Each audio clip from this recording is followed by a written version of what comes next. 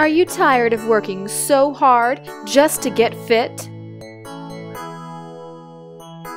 Are you tired of bogus diets that simply don't work?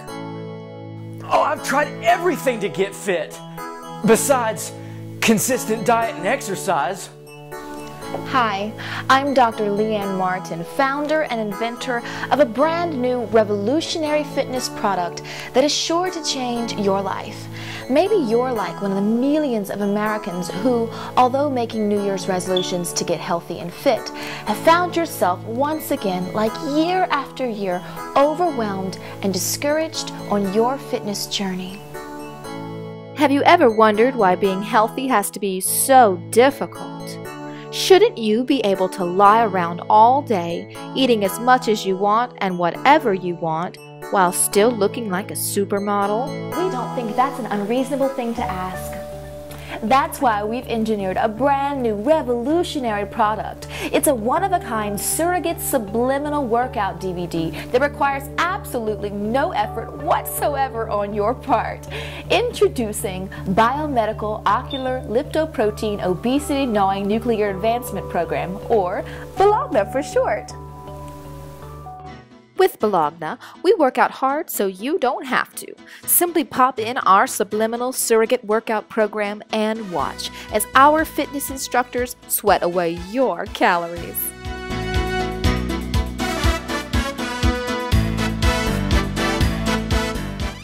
Basically, you get fit while you sit. Just imagine you eat Cracker Jacks while we do the jumping jacks. And don't worry, the calories that you consume during our Bologna program are immediately canceled out by the hard work done by our fitness instructors on your behalf. Don't believe it works? Just check out our 100% genuine, 100% unaltered or undoctored before and after photos.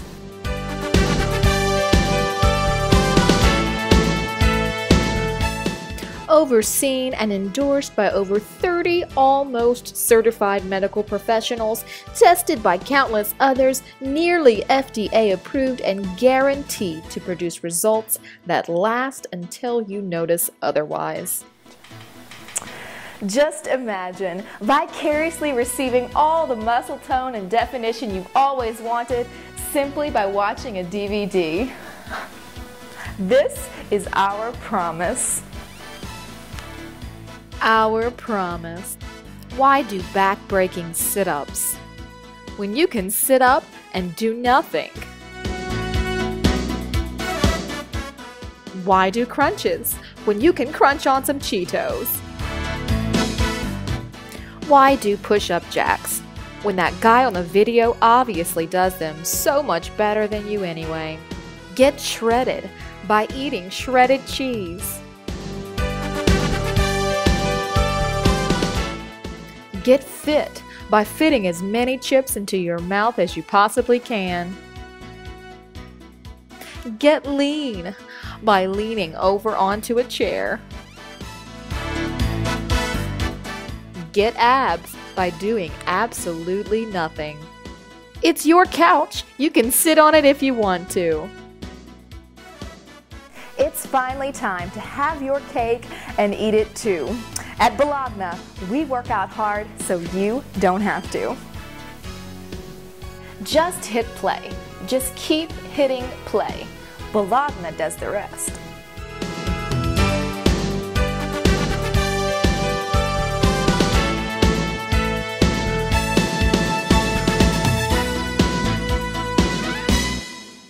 Come on, come on. How many of you wish that was true in here? That you could just push play and, and, and, and start losing weight and getting fit and those types of results. That's my type of workout plan. But I mean, you know, it doesn't work that way. And, and so this morning, we're going to talk about that a, a, a little bit. And, and uh, we're going to wrap up this series. You know, over the past five weeks, we, we've heard messages of, about things that you can do in your life and things that you can apply in your life and, and the way that it can, uh, you know, see the benefits and fruit in your life.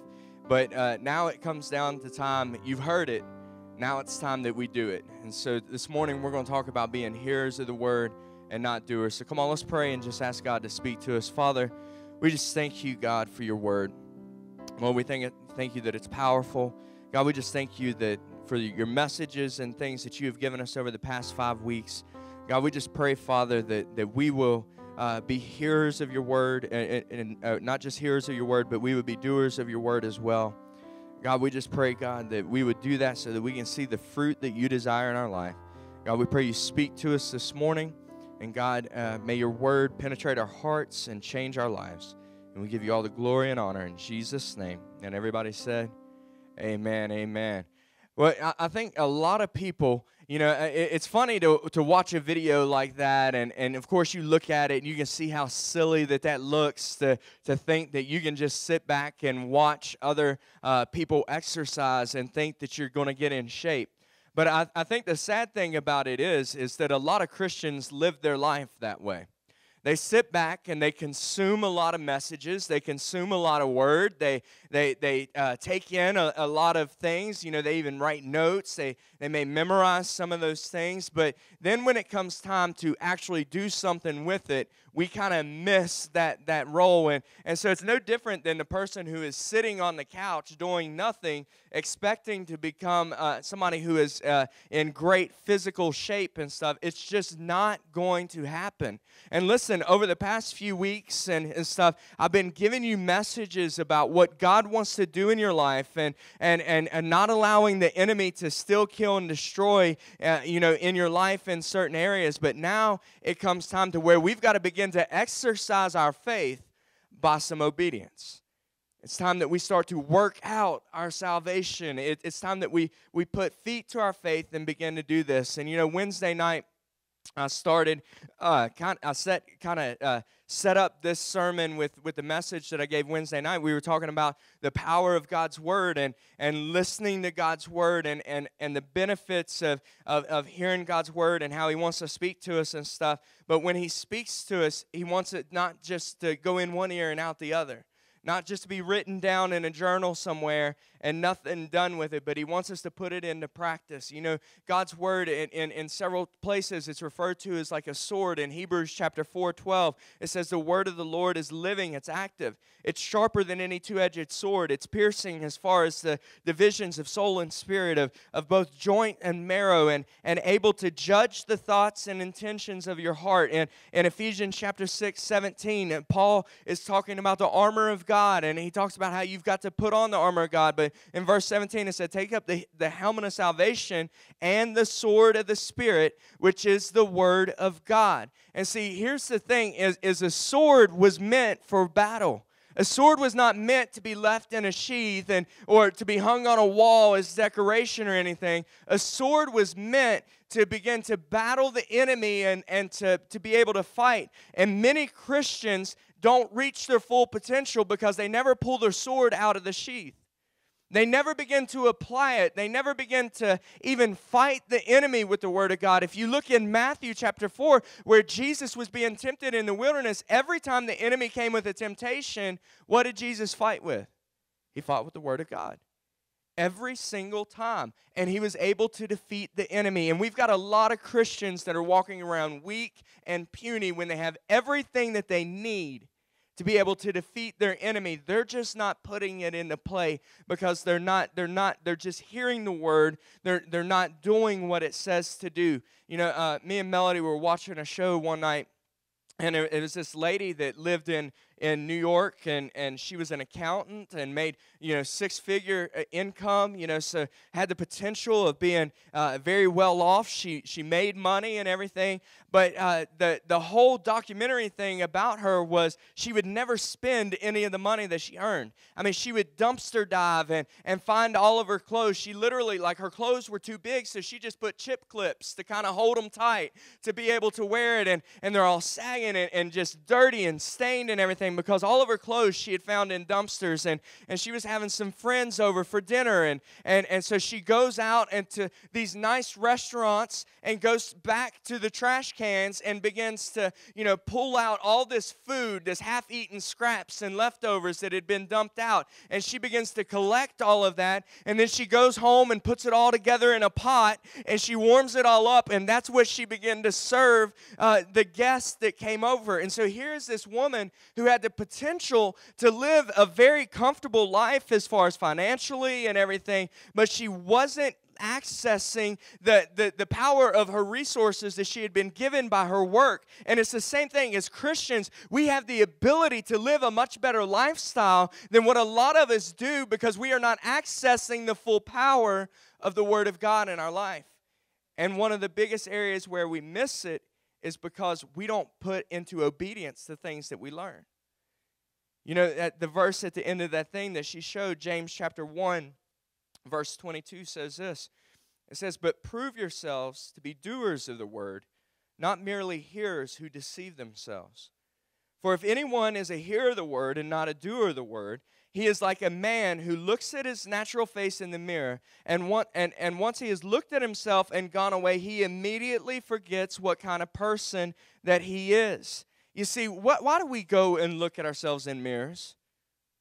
We go to look at ourselves in mirrors so that we can begin to see if there's you know hair out of place if we got anything on our face if we got any pimples that are just kind of bulging and we need to kind of squeeze that thing and and release the volcano of uh, of pus from behind there you know. We, we, we begin to we're, we're looking to fix imperfections in our life. And that's what he said is the word of god is like a mirror that you can hold up and you begin you can look at it and you can see the areas where where you can do a little bit of work where you can fix this up a, a little bit and, and stuff. But I think a lot of Christians are kind of like me with mirrors. You know, when I, when I go to a, I, I very rarely ever look in a mirror. And, and you know, I get up in the morning and I, I take a shower and stuff, and I get up and I just kind of do this, and that that's kind of I go. And if I pass by a mirror, I may kind of check real quick and go on. You, you know, but but I, I don't do that, and I think that's what a lot of people do with God's word. Is they begin, they kind of look at it, but then they put it down and, and they just kind of go walking on. And James really is, is kind of insulting people who are uh, not doers of God's word because he said, they said it's like a man who looks at himself in a mirror and then walks away and forgets what he looks like. I don't look at myself in a mirror very much, but if somebody asked me, How would you describe yourself? I wouldn't say, Well, I'm about six foot five. I'm kind of dark complected. You know, uh, very handsome rugged good looks, you know, that, that type of thing. I, am really kind of swole and, you know, built and all that stuff because I work out so much or I watch a video on TV or something. But, you know, I, I mean, I wouldn't describe myself like that. I know what I look like.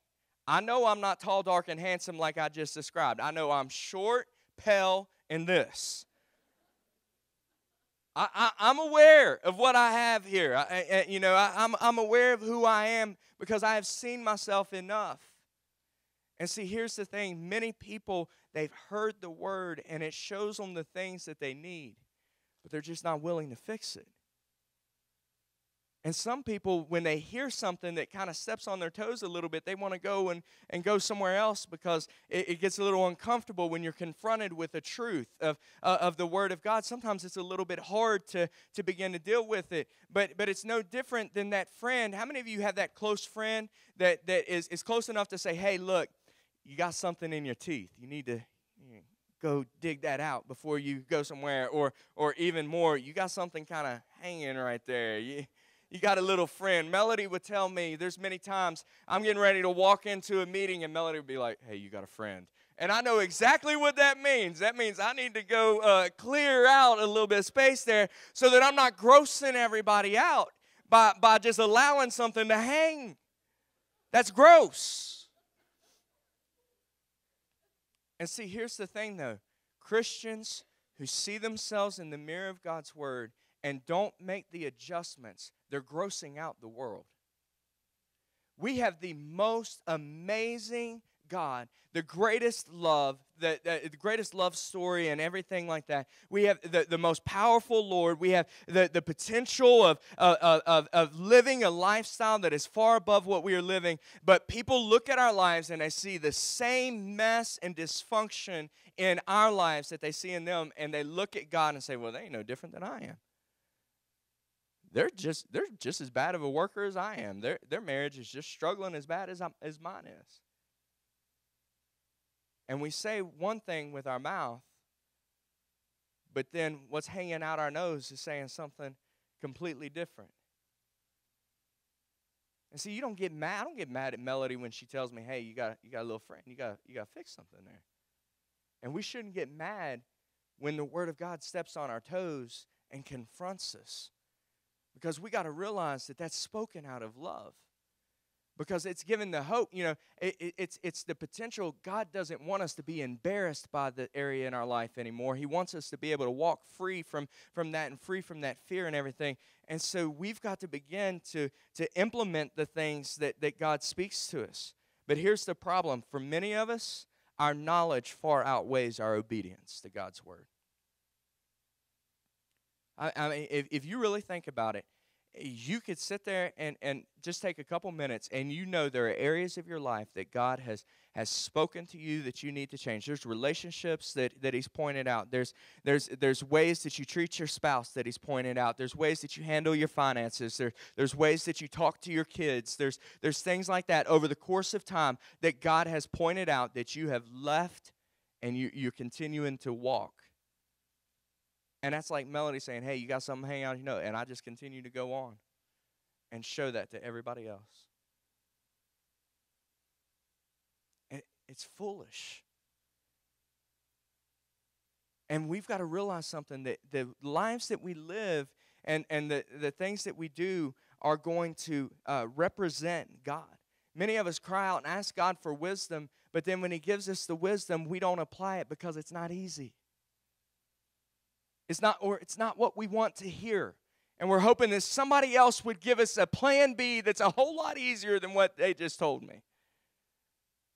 And it's time that as men and women of God, that when we are confronted with an issue in our life, we make up our mind that we're going to do what God's word says about it and not look for somebody who is going to water it down enough for us to, to make it easier for us to take. But we want to represent God well. You see, our prayer shouldn't be for greater revelation. Our prayer really should be for a greater level of application. You got many people who are like, God, I want you to show me more in Scripture. I want you to teach me more. God, reveal yourself to me in a greater way. And God's like, What are you doing with what I've already revealed to you? Can I tell you something? God is a God who distributes things based on stewardship. What are you doing with it? We talked about this with gifts. We've talked about this with finances and everything. But this morning, I'm going to show you that it's not just gifts and finances, but even with revelation of God's word, He will only give you what you can handle and what you will put into application. And so there's many people who are crying out for God to reveal Himself in a greater way. And God is saying, just obey what I gave you first, and then I can reveal you other things. You can't handle the other things yet. Even Jesus, when He he was teaching his disciples, he told them, he said, Look, I can't, you can't handle the things. There's more things that I want to teach you, but you're not able to handle them yet. But when the power of the Holy Spirit comes upon you, he will teach these other things to you. And God graciously doesn't deal with every issue in our life all at once, or we would be completely overwhelmed but he reveals things to us in stages so that we can begin to, to work out that salvation and, and, and, and, see those things. Listen, God's word, it, says that if you are faithful in little, then you will be a he'll make you a ruler over much.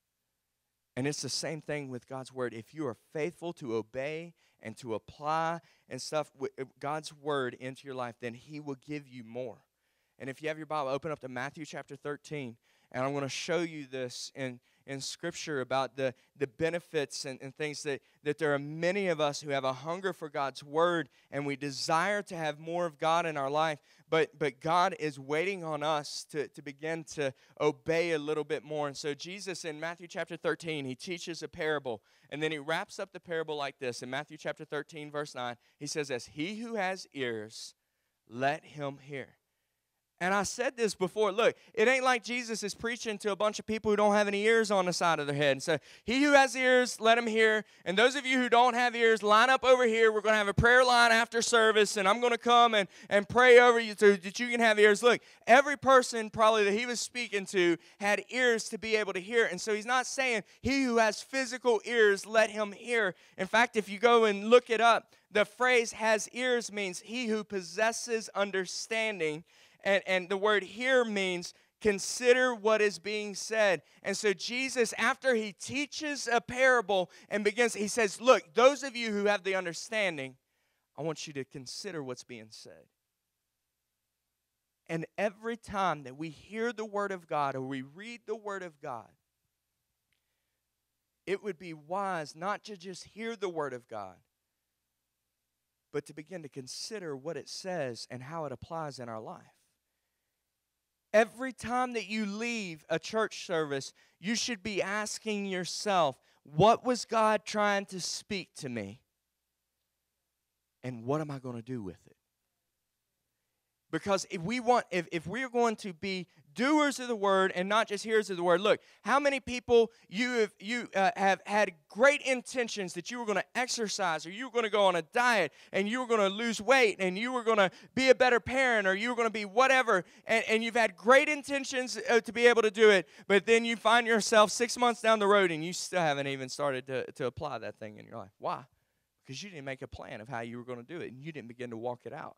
Listen, when God begins to speak a word to your heart about some change that needs to happen in your life, you need to pray about it, you need to consider it, and then you need to figure out how am I going to get from point A to point B and begin to put this in application and begin to walk this out. You know, at the beginning of the year, I, I set a bunch of goals for my life and, and, and, you know, things that I wanted to do, scripture memory, you know, uh, amount of leaders I want to raise up in the church, you know, things like that. And, and so I have those as goals that I want to do in 2015. But everything that I do, I'm like, okay, I can't just say, God, I want to raise up this many people and God, I want to read through the scripture this many times. I have to get a plan that is going to be allow me to be able to, to do the things that I asked to do. And one of the things that I wanted to do was I wanted to read through the Bible three times in one year, which I have never even been able to come close to being able to do that. So, you know what I had to do? I had to find Bible reading plans that would permit me to be able to do that. And so I, I find plans that you can finish it in 100 days. I find plans, and then I have to be able to get on track and start walking it out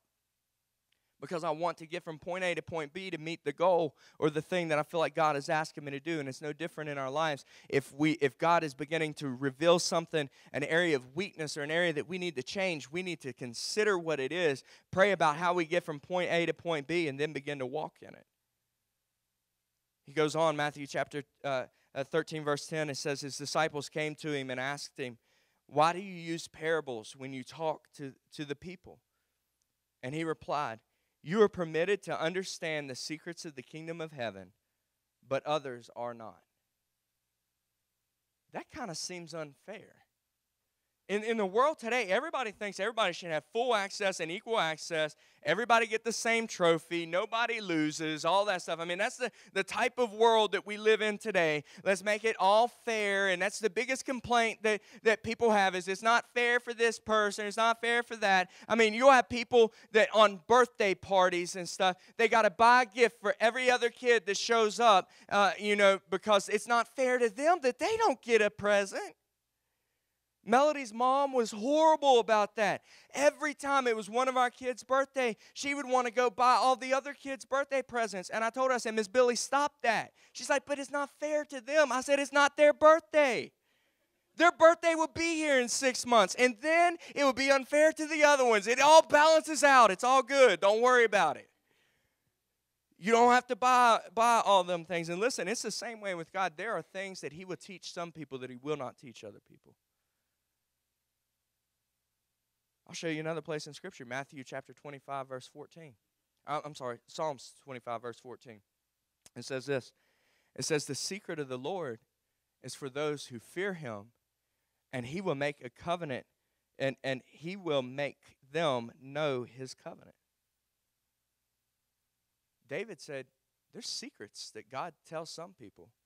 The people who fear the Lord, and here's the thing if you fear the Lord and you have a fear of the Lord, then you're going to obey what he says. You're not just going to be a hearer of the word, but you're going to be a doer of the word because you want to make sure that you're pleasing before God. And, and the fear of the Lord drives you into obedience and stuff. And so, what he's saying here is there are secrets that God is going to speak to some people and covenants and things that he's going to reveal to some people that he doesn't to other people. But it's based on what they do with what they already know and their, their, their respect and their honor for God's word that it's not just some book that's, oh, that's good information, but it's something that they're going to take and they're going to learn and they're going to begin to apply in their life. Some people are like, well, I'm not so sure I believe that. Well, let me show it a little bit farther. Genesis chapter 18, verse 7. Let me kind of set the, the, the thing here. Uh, uh, uh, God is, is getting ready to destroy Sodom and Gomorrah. And, and he's getting ready to wipe it out because of all the great sin and everything that's there. But, but Abraham has a nephew named Lot that is living down in the city. And, and so God uh, says this it says, uh, The Lord said, Shall we hide? Shall I hide from Abraham what I am about to do? And that word Lord is the Lord Jehovah, it's God. And so God says, Is it right for us me to hide from Abraham? I mean, he's got a nephew there named Lot. So should I hide from Abraham? And then he goes and he begins to speak to Abraham. And he tells him of the destruction that's getting ready to come to Sodom and Gomorrah and everything. But here's the thing Lot, he didn't speak to. And some people were like, well, Lot lived in an evil city, and so he was probably just evil, and he just wasn't close to God, and he wasn't saved, and that's why that's all, all that stuff. But if you look at 2 Peter chapter 2, verse 7, it says that Lot was a righteous man. So here is Lot that God's word in the New Testament describes as a righteous man, and he lives in a city that's about to be destroyed, but God isn't telling him about it, but he tells his uncle about it because of the relationship and stuff here. Can I ask you a question? How many of you you just share every secret you have with everybody you know? Why don't you share your secrets with everybody that you know? Because you don't want all that stuff blabbed to everybody. There are some things you, know, you know that you don't want everybody to know because you can't trust what they would be able to do with it. And see, that's the same thing with God. Is God is a God of stewardship, and every area of our life, He tries to see what are we going to do with what He gives us. Can we trust it? Can He trust us with more? And if He can trust us with more, then He'll give us more. It's the same thing with with with, with finances. Can He trust us in the little, and then He'll bring blessing? And in the Word of God, it's the same thing. Can He trust us in little? And if He can, then He'll bring more. That's why I said re- we need to not pray for greater revelation. We need to pray for, pray for better obedience in our life. Because the way to get a greater revelation is by obeying what you already know. And there's many people who are searching, searching, searching, searching for knowledge. But knowledge, if it's just in your head, isn't going to do anything. It's only applicable when it's in your heart. See, knowledge in your head is the sword in the sheath. It doesn't do anything. It just looks pretty. May make you look smart in front of some people, but it's not going to bring change in your life. It's not going to defeat the enemy, and it's not going to help you to walk uh, in, into a greater lifestyle. And then we'll go back to Matthew chapter 13 because Jesus says this very next thing. He said, To those who listen to my teaching, more understanding will be given to them, and they will have an abundance of knowledge. But for those who are not listening, even what little that they, they understand, it will be taken away from them. There's some people, as I was going through that, God has secret things, you're like, I'm not so sure, not so sure, not so sure. What Jesus just say? He said, if you want greater knowledge in the Word of God and greater revelation in the Word of God, do something with what you already have. If you want to know God in a greater way and you want God to reveal Himself, make sure you are obeying and lining up your life with the, in the areas that He has already taught you. Over the past five weeks, we've hit five areas in our life. You know, over the course of, of, of of sermons and stuff, we talk about different areas and stuff. And now it's time to, to decide what are we doing with it. Look, we can't just sit around getting fat and consuming a, a bunch of the Word of God and getting fat and doing nothing with it. It's time that we begin to go out and work out the, the, our salvation and begin to, to take the steps that He's asked us to do and, and begin to use the, the weapons that He's equipped us with and, and things to begin to build His kingdom. Because if you don't use it, you'll lose it. Kind of like somebody, they can work out for a while, but then they stop working out for a while. And then what they used to be able to do when they worked out all the time, they can't do it anymore. And that's the sad thing is a lot of Christians really on fire for God. Three to six weeks. Then three to six weeks, I'm off. I'm tired done with this. And then they come back and expect to be able to do everything. Look, I can tell you this I couldn't get up here and preach week in and week out if I wasn't staying connected to the source day in and day out. I would have nothing to offer. And it's the same thing with you. Your life is a living epistle read by all men. And if you are not staying connected to the source and being obedient to what he is telling you, then what the story that you're writing out that people are reading are not the story that represents God. It doesn't represent his power. We'll give you just a couple things real quick that uh, you, that basically what to wrap this up as far as what we we must do. The first thing is we got to hear His word. We got to begin to take understanding of it. We got to begin to read it. We got to begin to to dig into it. And this is why it's so important. Listen, for you to take notes and stuff is because the enemy wants to come and try to steal the word immediately. You remember the parable of the sower, and, and it had four different grounds. It said that, that when he sowed the ground and, and it fell on the stony ground, that immediately the birds of the air came to try to steal that. And I've asked you this before, and I, and I said, How many of you, you've heard a message and it kind of challenged you and stuff, and then you get to the dinner table and somebody asks you, What did your pastor preach about? Um, I know he, he, he was talking about Jesus some, and it came out of the Bible. I remember that. He, he looked down and read the Bible. There's a, there's a thing on the, oh man, what was that he said?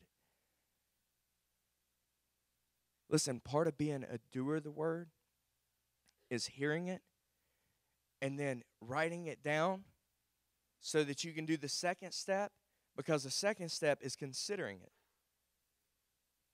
you go back and you think about it. Over and over in the scripture, you will see where God says to meditate upon the word day and night. You know, in Joshua chapter 1, when he's telling, and Joshua's afraid and he's got fear in his life and all this stuff, he tells him, he's like, go and meditate upon the word day and night. Why? Because he wanted him to consider the power of God in his life. He wanted to, he wanted him to consider the promises of God in his life so that he wouldn't have the fear to be able to step out into what God has called him to do. Psalms chapter 1, verse 1 says that, that blessed is is the man who sits in the, uh, the not in the seat of the, the ungodly or, or sits in the counsel of the ungodly, but that he is planted in, in the, uh, the house of God and that he uh, meditates upon the word day and night. Why? Because God wants us, He knows that if we sit in there and considering it, then we're going to act on it. And here's the problem many of us, the things that we consider the most, actually just feed our fears instead of feeding our faith. We consider a lot of things and think about a lot of things. But most of the time, the things that we allow to stay in our in our thoughts are worry, fear, confusion, doubt. When if we take what God speaks and we write that out, or we highlight that, or whatever, we can go and when those thoughts of worry, fear, doubt, confusion start coming our way, temptation, whatever it may be, we can take what God says about it and we can turn our focus onto God's word and how to apply God's word instead of sitting there and allowing ourselves to, to fall into uh, you know the fear and being crippled. And then the last thing is after you've heard it and you consider it you got to obey it. It's time to walk. It's time to get up and do what it says Time to quit sitting on the couch expecting better results and expecting to get muscles and, and all of that stuff when you haven't done anything. You can know all about the best exercise program and the best diets and everything, but until you implement it, you are not going to gain weight. You are not going to gain muscle mass. You are not. There, there's nothing going to take place. And it's the same thing with the Word of God. You can know everything it says about your marriage, but until you start treating your spouse the way that it says to, nothing's going to change. You can know everything it says about your finances, but until you, until you start walking in it, nothing is going to change. Because God is waiting for you to begin to obey His Word. You see, the power of God the Word of God has the power to heal marriages. It has the power to, to heal our finances, to, to bring us into the abundant life that we've been talking about. Uh, you know, but the majority of us, uh, the problem is, is that, that we either feel, feel that it doesn't apply, so we feel unworthy about things, or we have laziness or disobedience in our life, or we're just, we're just complacent with where we are instead of truly wanting to grow in our walk with God. And that's the thing, listen, if we really want to see a better marriage, if you really want to see better financial position, if you really want to see a greater boldness in your life, if, if you really want to see these things, then you've got to begin to implement the things that you have seen and heard and, and, and, and been taught in the Word of God. And begin to walk it out and do it. It's not enough to have it in our heads, we got to show it by our lives. And when we begin to confront ourselves with the mirror of God's Word, and then we begin to walk with it and show it in our lives, then that's when people will see the good works of Jesus and it will bring glory to God. Remember Wednesday night, I talked about a man who uh, had a diamond that was about the size of a of an egg sitting up on his mantle and it was a it was he, he didn't even really know what it was it was just this rock and this guy came by and was like where in the world did you get that rock? And and, and he, he realized uh, he said do you know what that is? And he told him it was a diamond and the value of it and everything. And to him it was just a black rock that kind of had some shininess to it and, and everything. And it had been sitting on his mantle and i mean the size of an egg. So you can imagine how much a, a diamond the size of, a, of an egg is worth. And it had been sitting on his mantle and, and it was a resource that was completely untapped And that's the way that a lot of us are with the Word of God. Is we, we've even written it down in a notebook. We've, we've, we've got it on our shelves and stuff, but we've left it on the mantle. And we need to get it off the mantle and we need to begin to walk in it and do what it says and, and begin to allow God to, to move in our lives and stuff so that we can begin to reach the full value of what it is. And see, here's the, the thing. Not only did he have that one rock that was on his mantle, but the guy asked him, he said, Where did you get this from? He said, Well, it was in the creek bed that runs down my house. And they go down to the bed to, to the creek, and it's filled with those rocks. And it was turned out that it became the world's largest diamond mine. The Kimberley Diamond Mine was in his backyard millions and millions of dollars. The, the royal crown jewels, all of those things, for, you know, huge diamonds came out of his backyard. And it all, had been sitting there all along. And see, that's the thing with the Word of God. Is it's something far more valuable than a bunch of diamonds. And for many of us, the truths and stuff are sitting there just waiting for us to mine it just waiting for us to, to read it, to pick it up, to study it, and begin to apply it into our life so that we can see the full potential. You can come on up here. But here's the thing, guys listen. We can't obey God's word because we want a blessing in our life. You know, that's the whole teaching that a lot of people teach is like, look, just obey God's word and, and do what it says, and, and then you get this blessing, and you'll get rich, and you're going to get this, and, and all that stuff. And look, those are benefits of, uh, of, of obeying God's word. Those are benefits of, of heeding God's word is, is that you see the better marriage, you see the, the better relationship with God, you have the boldness, you, you make the impact, and, and all of those things are, are benefits that come along. But listen, it can't be the driving force behind it. Because when it doesn't happen as fast as you think it should, then you're going to quit and you're going to walk away and say that it doesn't work. But when the motivation is simply because you love your heavenly Father and you want your life to demonstrate Him, you demonstrate uh, Him and His blessing and His love, and, and you want other people to see His love and His mercy and His grace through you, then it doesn't matter if things happen right away. You're going to continue to do it. I remember reading this book called High Adventures in Tibet. It was about a missionary called Victor Plymire. A lot of people don't even know who Victor Plymire is, and that's because he didn't have a world renowned travel ministry to see millions and millions of people.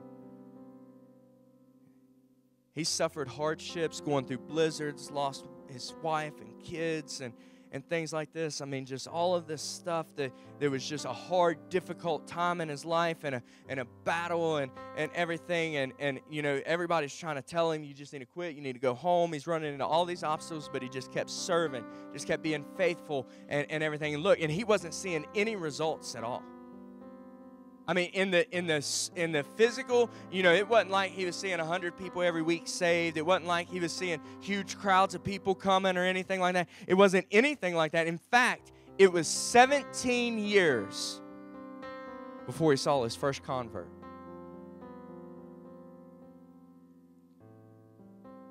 And in those 17 years, he lost his wife, he lost his kids to, to sickness and to disease and, and all this stuff. I mean, it's just unreal the things that he went through. But he stayed the course because of his love for the Father. And see, here's the thing some people try tithing, and when they don't get win the, the, the lottery the next week, they just give up on it. Some people try to be nice to their spouse and, and treat them the right way, but, but when, it, when the marriage doesn't turn around within the next couple weeks, that's it. I'm done. I ain't doing that no more. Some people try to, to uh, you know, cut off relationships and stuff, but the minute that they, they feel a little bit lonely because they, they didn't instantly get that whole new group of friends that they thought that they should have, then they just go back to their old life, old relationships. But see, here's the thing Jesus in John chapter 14, I believe it's verse 15, he said, If you love me, you're going to keep my commandments. And look, this isn't like the teenage boy who says, If you love me, you will. This isn't a manipulative statement. That's not what Jesus is trying to do here. It's not what he, he's trying to teach. He's, he's, he's not saying it. He said, The natural uh, fruit of you loving me is that you are going to honor me and represent me well by keeping my commandments. And that's the thing. If we truly love the Father, then it should be easy for us to be doers of the word and not just follow. And, and then as we continue to do the word, then God begins to reveal himself to us in a greater way. And then we begin to make a bigger impact. We begin to see the more fruitful lifestyle that God has for us. There's too many Christians that are dumpster diving that God wants them to have an abundant lifestyle. And we've talked about some of the areas over the past few weeks, but now is the true test.